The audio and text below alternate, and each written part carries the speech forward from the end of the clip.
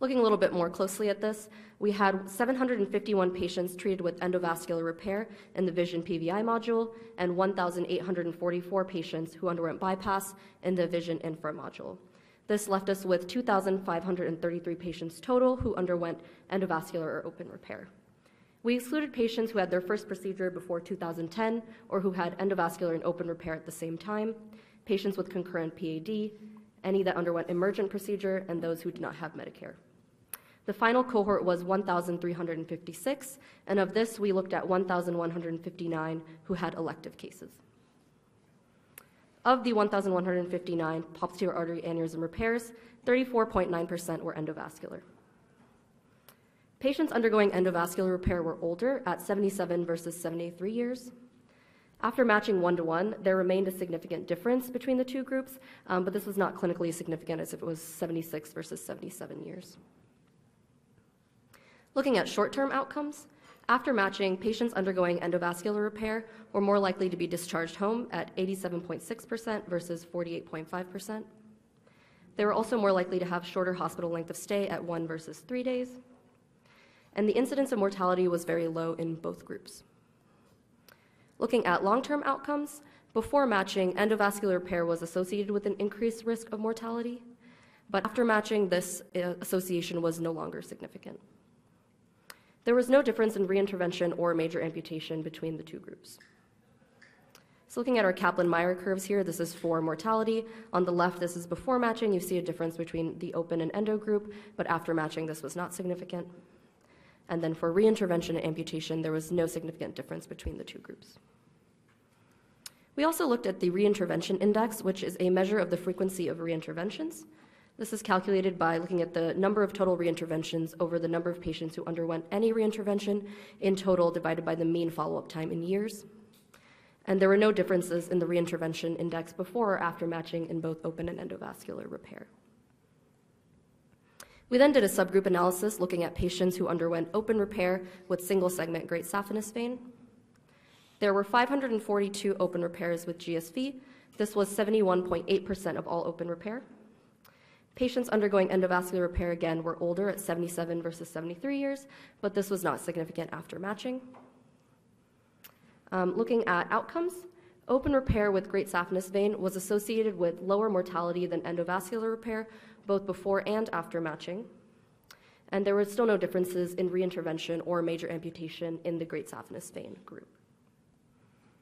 These are our Kaplan-Meier curves for mortality in the endovascular repair versus open repair groups with great saphenous vein. As you can see, it was significantly different um, both before and after matching. Some limitations arose in this study.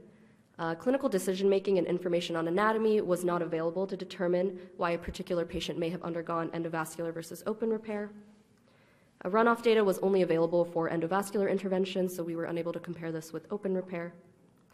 Um, selection bias likely drives the increased late mortality with endovascular repair, which is seen after matched analysis. Uh, information on great saphenous vein quality and size were not available. Um, coding data from the vision database also could have some discrepancies. And finally, as this is a Medicare database, the patients are 65 years of age and older, and findings might not be applicable to younger patients. So, to summarize, patients undergoing endovascular repair were more likely to be discharged home and have shorter hospital length of stay. There was no difference between endovascular and open repair in terms of survival, reintervention, or major amputation. 71.8% of all open repairs were performed with great saphenous vein.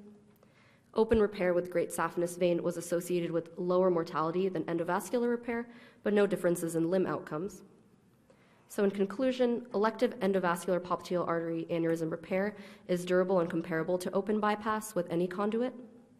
Great saphenous vein bypass remains the gold standard option for treatment of popliteal artery aneurysms and is associated with reduced mortality compared to endovascular repair. Thank you so much, and I'm happy to take any questions.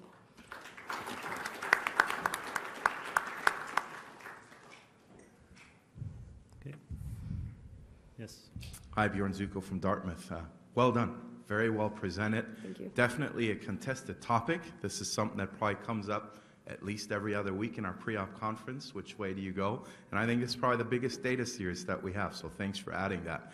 My question to you is, do you have any uh, insight into the medical therapy of these patients. I know the VQI data set, although not out to many years in the vision match component, but at least at the one year follow up gives you some insight on antithrombotics, antiplatelet, and so forth.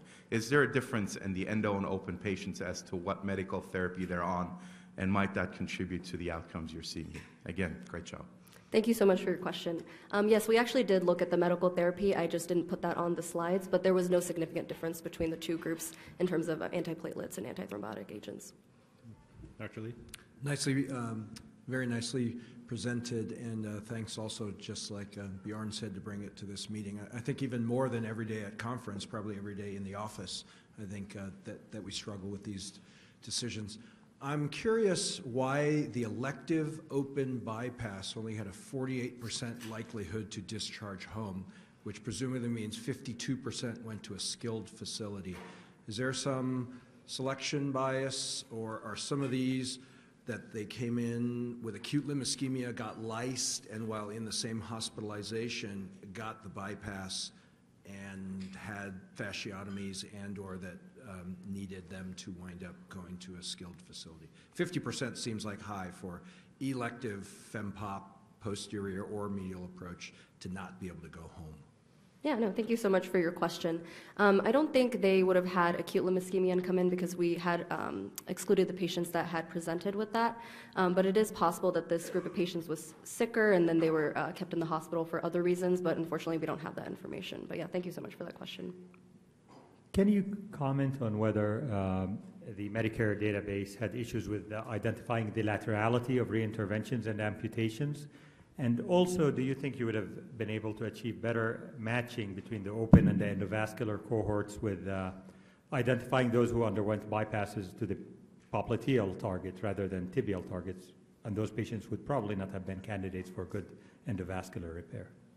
Yeah, uh, thank you so much for your uh, question. Um, for the first question, uh, I don't think laterality was reported in the database, so that's definitely um, a limitation uh, and uh, a definitely very important point. Um, in terms of the second one, no, we did not include that with our matching, but it could be, um, you know, something that's that's reasonable to to look into. It's an interesting point because actually in the PVI database, you could probably also see the proximal and distal extent of where the stent was placed and sort of match anatomically because I know you did propensity matching, but really anatomy is what dictates uh, the approach in a lot of ways. And you can actually find some of that in VQI. Great. Great job. Thank you. Thanks. We'll-